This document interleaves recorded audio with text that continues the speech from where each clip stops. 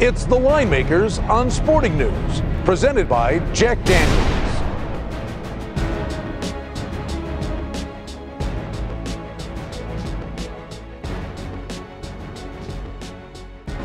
Hey, everybody, time now for one of our featured games of the weekend. Who'da thunk it? Arizona hosting Philadelphia. The Eagles, a four point favorite on the road. The total on the game is 43 and a half. Wow. Who'd have thunk it? Uh huh. Arizona 2 0 after shocking the NFL last week. Amazing. What a big win to go on the road. A 10 a.m. kickoff.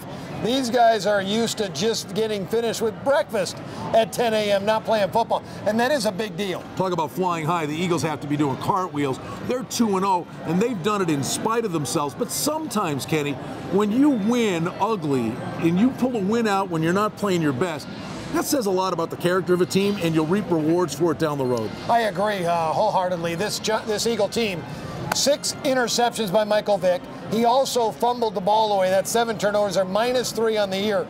But a 2 0 start for a team who's yet to play their best football.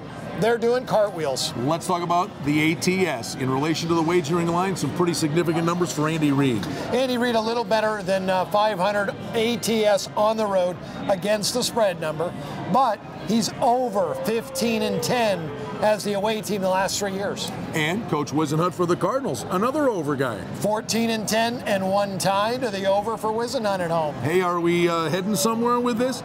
I think you know we got to look at the over in this spot. The total's 43 and a half. Does that move? I think the total the total came down a half. I think it may go back up. Game day, when they watch these two play. Arizona went under last week with the Patriots.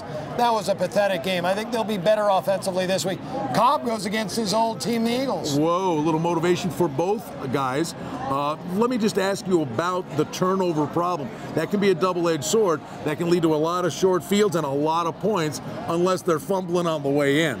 Yeah, it all depends on where that turnover does happen. But I'm sure Andy Reid has cleaned things up this week, and he's probably demanding that the Eagles take care of the football. Letdown spot for Arizona and a long trip for Philadelphia. Which one wins out? Um, well, I don't know if it'll be a big letdown. Kolb will want this game badly. It's against the Eagles.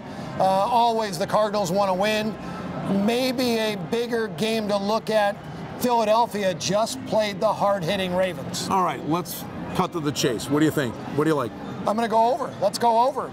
Both guys show the trend to go over. Ditto. Uh, it seems like the smart play over the 43 and a half from the line makers on Sporting News when Philadelphia visits Arizona.